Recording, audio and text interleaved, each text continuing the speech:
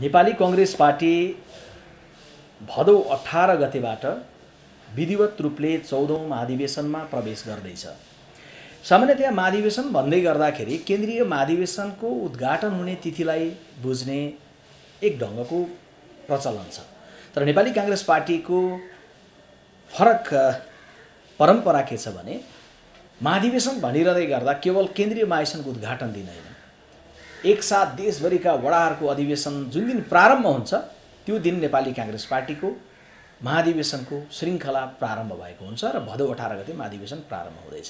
वात्सल्य natural IVF आधुनिक चिकित्सा उच्च सफलता दर अन्तर्राष्ट्रिय स्तरको उपचारद्वारा सन्तान प्राप्ति सम्भव छ।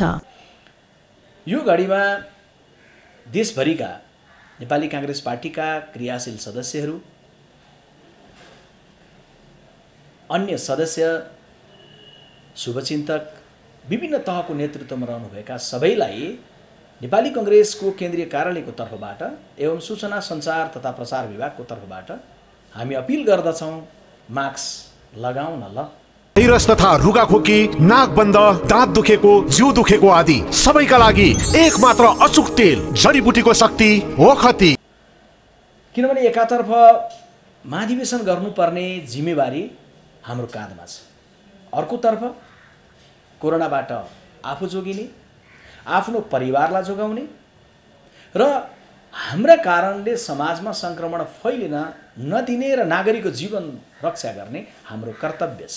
त्यसैले महाधिवेशनको प्रक्रियामा जारी गर्नुभएका सबै आदरणीय साथीहरूलाई महाधिवेशनबाट क्षेत्रीय प्रतिनिधि या वडा तहमाबाट नेतृत्वमा आउने क्रम सुरु गर्नुभएका सबै साथीलाई मत माग्न जाँदा अथवा मत लिन साथी घरमा आउँदै गर्दा एउटाले अर्कोलाई सोधौँ मास्क लगाउँ भनेर।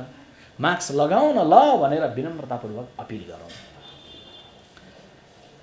अठार गते महाधिवेशन प्रारम्भ हुँदै गर्दा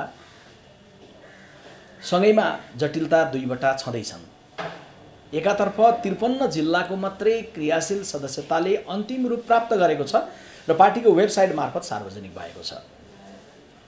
अर्कोतर्फ कोरोनाको जटिलता छ। त्रिपन्न जिल्लाको सार्वजनिक भएको क्रियाशील सदस्यताको विवरणसँगै नेपाली काङ्ग्रेस पार्टीको केन्द्रीय प्रतिनिधिहरू हिजो फेरि थप तिन जिल्लाको पनि टुङ्गो गरेपछि छप्पन्न जिल्लाको पुग्दै गर्दा ती जिल्लाका केन्द्रीय प्रतिनिधिहरूको ओरिएन्टेसन पनि सकिएको छ र निर्वाचन निर्देशिका अनि कुन वार्डबाट कति प्रतिनिधित्व हुने भन्ने व्यवस्थासहित केन्द्रीय प्रतिनिधिहरू निर्वाचन क्षेत्रतर्फ जिल्लातर्फ बढिसक्नु भएको छ। बढ्दै गर्दाखेरि कुनै भूगोलमा कारणवश अठार गते सुरु हुँदै गर्दा कोरोनाको जटिलता या अन्य केही जटिलताहरू उत्पन्न भएको खण्डमा क्रियाशील सदस्यताको विवरण नटुङ्गिएको खण्डमा तत् जिल्लाहरूका केन्द्रीय निर्वाचन प्रतिनिधिहरूले केन्द्रीय निर्वाचन समितिसँग सम्पर्क गरेर समन्वय गरेर अनि अनुमति लिएर ती जिल्लाको अधिवेशनलाई अठारबाट उन्नाइस बिस एक्काइस पनि आफ्नो त्यहाँको अनुकूलता बमोजिम गर्न सक्नु नै हुनेछ। त्यो चाहिँ कोरोनाको विषय सार्वजनिक क्रियाशील सार्वजनिक नभएको विषय र प्रतिनिधि पुग्दै गर्दा कारणवश ढिलाइ भएको जिल्लाको वस्तुगत स्थितिभन्दा बाहेक हामी अठार गते नै महाधिवेशनको प्रक्रिया सुरु गर्दैछौँ। त्यस कारण सबैको जोड अठार गते छ। भदौ अठार दुई हजार अठहत्तर साल। यो साल यो अधिवेशनको प्रक्रिया विषयमा सबैले हामी गम्भीरता भएर लाग्नु छ। अधिवेशनमा जाँदै गर्दा साथीहरूलाई अर्को विनम्र अपिल र आग्रह पनि हामी गर्न चाहन्छौँ। कि एकातर्फ हामीले अधिवेशन गर्न जाँदै गर्दाखेरि नेतृत्वको चयन गरेर नेतृत्वलाई लिएर आउनुपर्ने दायित्व छ। अर्कोतर्फ सँगैमा पार्टीलाई ऊर्जा भरेर रूपान्तरित कङ्ग्रेस बनाउने रूपान्तरित देश बनाउने अठोट र अभियानमा एउटाले अर्कोलाई हात दिने एउटाले अर्कोलाई साथ दिने कर्म पनि गर्नु छ।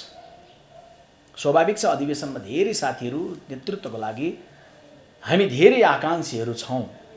तर त्यो गर्दै गर्दा बडा संयमताका साथ बडा सद्भावका साथ बडा हार्दिक ढङ्गले प्रतिस्पर्धा पनि गर्न जरुरी छ। र त्यो प्रतिस्पर्धा गरिरहँदै गर्दा भदौ अठार गते अधिवेशनको प्रक्रिया प्रारम्भ गरिरहँदै गर्दा हामीले यो पनि बिर्सिनु छैन कि बिर्सिनु हुँदैन कि कोरोनाको सङ्क्रमण राजधानीमा अनि गाउँहरूमा पनि छ। त्यसैले अधिवेशनमा उत्साहपूर्वक सहभागी बनाउँ तर भिडभाड जब हुन् हुने युक्त हुन्छ भेटघाट र भिडभाडको बेलामा मास्क लगाउँ आफूले पनि लगाउँ र अरूले पनि मास्क लगाएको छैन भने दुईवटा हात जोडेर अनुरोध गरौँ मास्क लगाउँ न ल। नेपाली काङ्ग्रेस पार्टीको यो अधिवेशनमा उत्साहपूर्वक सहभागी बन्न र मास्क आफू लगाउन मास्क अरूलाई पनि लगाउन अपिल गर्नलाई पनि सूचना सञ्चार प्रसार विभागको तर्फबाट म हार्दिक अनुरोध गर्दछु। मास्क लगाउन ल जय नेपाल